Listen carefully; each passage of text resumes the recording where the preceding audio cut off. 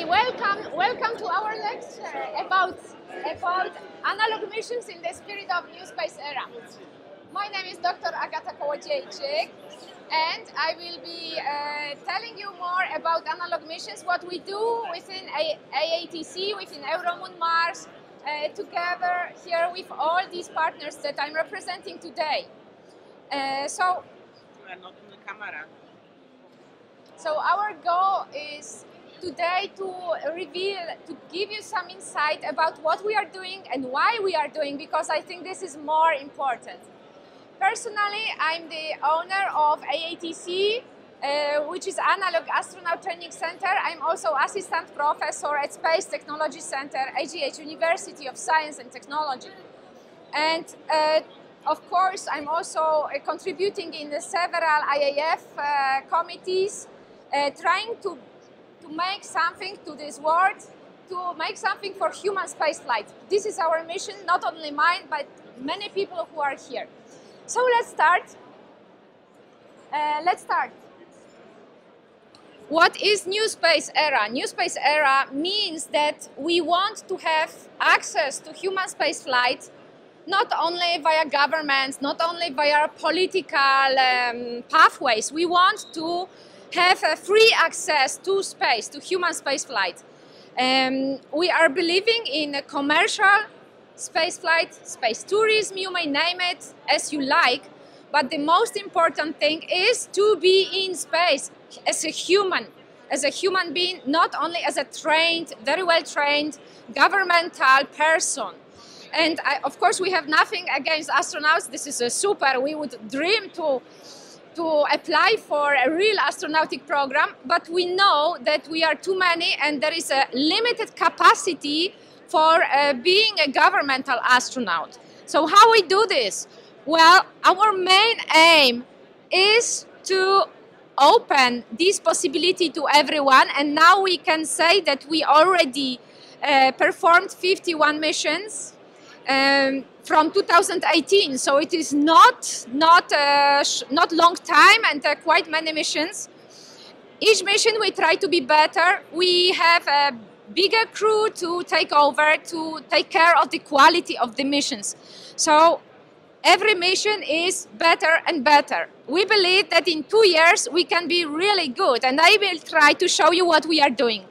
Now we are we have uh, already representations of nearly all continents in the world beside Antarctica.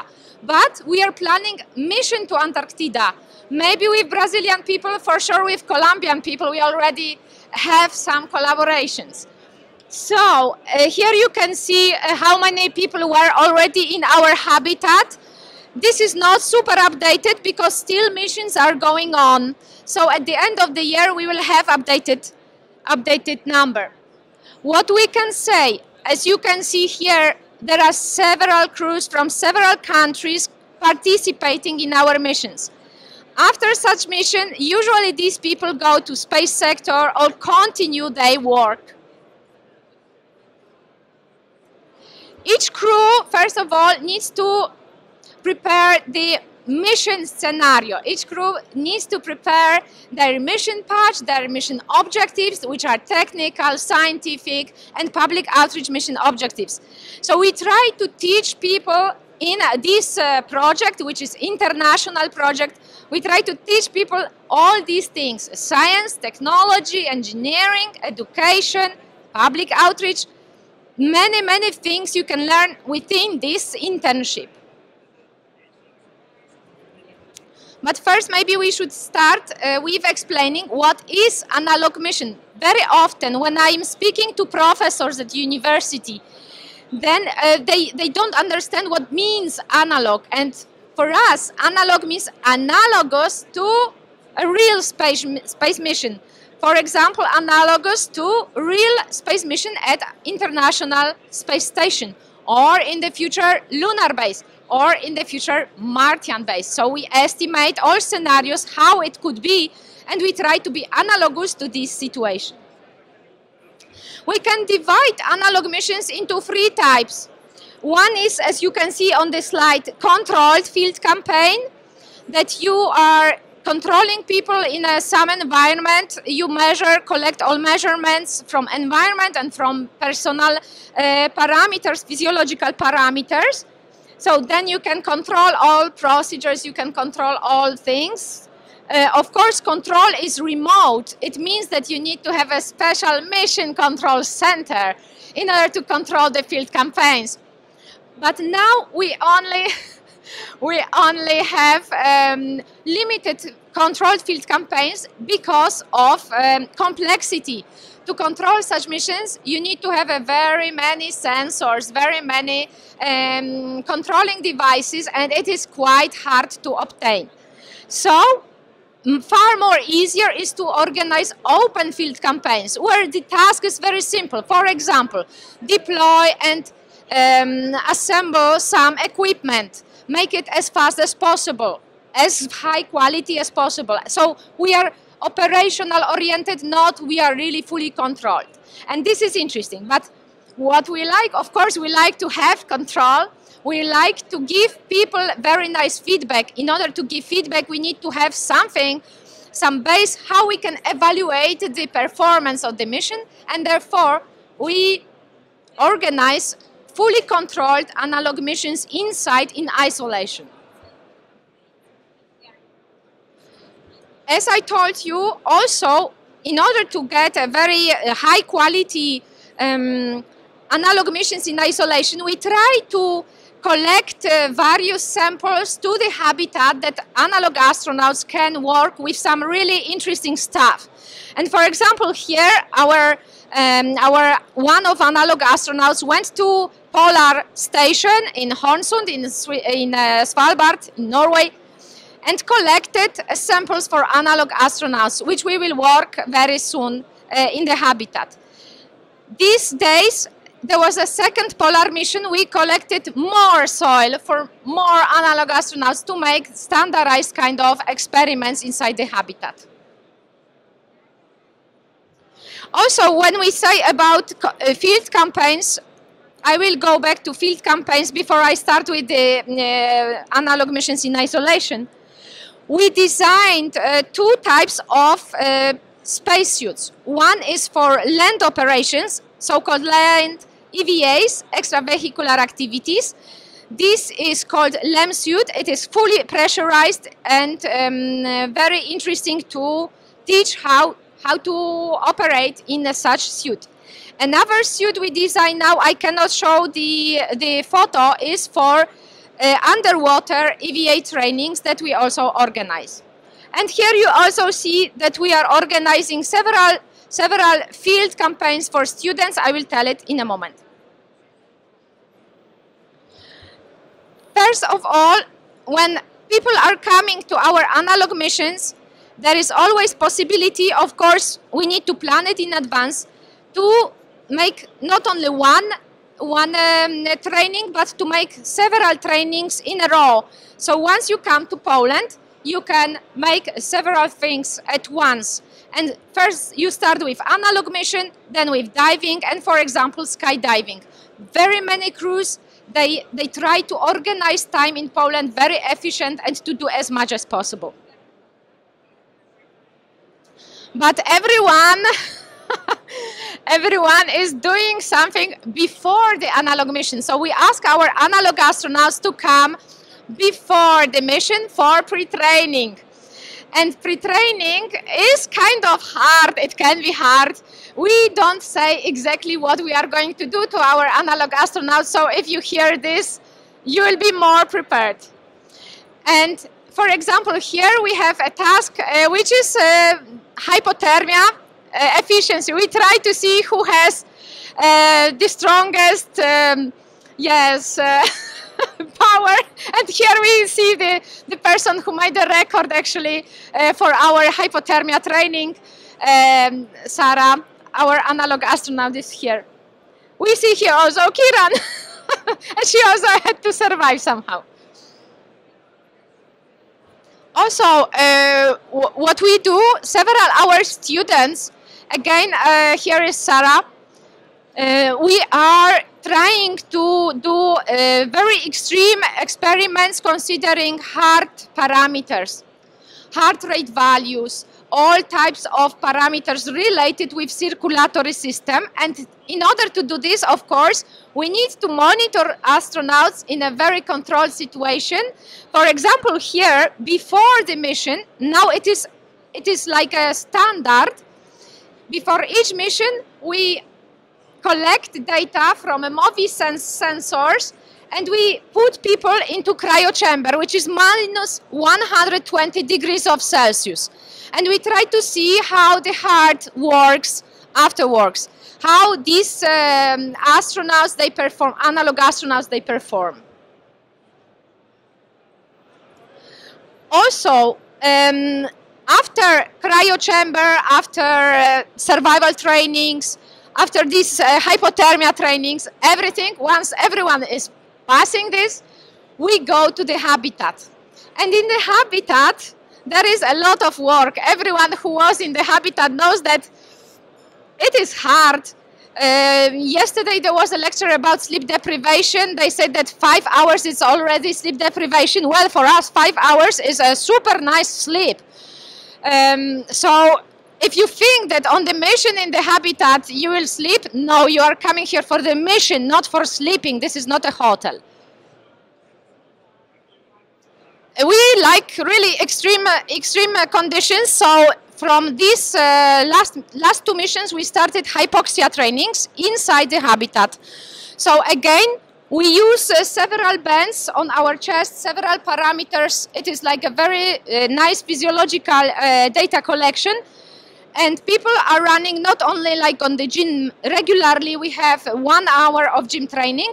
Now we take 20 minutes from this one hour for hypoxia training. So every day people are seeing a narrowing view and everything is getting black and everything is really interesting people really like it by the way i don't know why they said this was the best in the mission that when i saw this this this tunnel of light when I was running on the gym. So of course, everything is under control. We have medical doctor now fully operating in the mission control center to control if everything is correct, yes? And uh, when I'm saying about control, it's um, not only people that are trying to observe everything. Of course, we have several sensors. And now the habitat, uh, the habitat environmental data are collected by NetAtmo um, sensors, which are measuring humidity, blood, uh, humidity, CO2 levels, temperature, energy consumption, noise, um, acoustic noise, uh, amplitude, light intensity, and these uh, these sensors are located in 3D, so they are not only um, one one sensor in one module, but there are several sensors in each module on one meter height and two meters height. In order to do this, we have a really nice view map of all environmental sensors in 3D. So it is very unique. Of course, we like, and our analog astronauts, they love emergency simulations. They are all the time waiting when finally Mission Control Center will do some emergency. We are preparing our analog astronauts for emergency and they know they don't know the time, they don't know what kind of emergency simulation they will expect. Mission Control Center that is here, we are really thinking hard how to make the emergency the best as possible, the most real as possible, and of course the most standardized as possible because we want to say which crew performed better in emergency simulation. We try to make them as much stressed as possible. We try to make them as much frustrated sometimes. You know, we are really trying to make this not a simulation. It is a real feeling of emergency. This is what we are trying to do. And of course, everything is kind of safe. But we don't know how people react to many things. We collect from each mission to another mission basic parameters. This is because we want to standardize mission. This is number one. So we want to collect the same type of data from one crew to another. Why? Because at the very, very end, we want to have an idea how population of humans, not only the best heroes, the most uh, fit people in the world, the most intelligent people in the world, how they behave in such situations. We want to see all people, we want to screen all people. Why? Again, it is in because of new space era. We want everyone to have access to space, not only the heroes, yes? And we try to observe what you need to improve to be able to fly to space. So this is our main idea to collect data. Here you see basic parameters. Um, we have here five crews. Um, and you, you can see that uh, they, they, are collecting uh, several data like uh, water distribution, water balance, so uh, drinking water and drinking water, um, removing water from the body. Uh, we collect body temperature, heart rates, and many, many, many other parameters that are standardized. So we are trying to collect all this data to see how much crew ate the food how much how much water uh, is needed for some crew. Some crews they are super uh, like um, not prepared. They don't feel that this is a simulation of analog mission, and they are overusing technical water. And later they have no water. So we have many problems with this, but people learn that this kind of of a simulator of spaceship is not a real house. It's not a real hotel. You really need to think if I have enough food, if I have enough water and technical water. This is kind of important.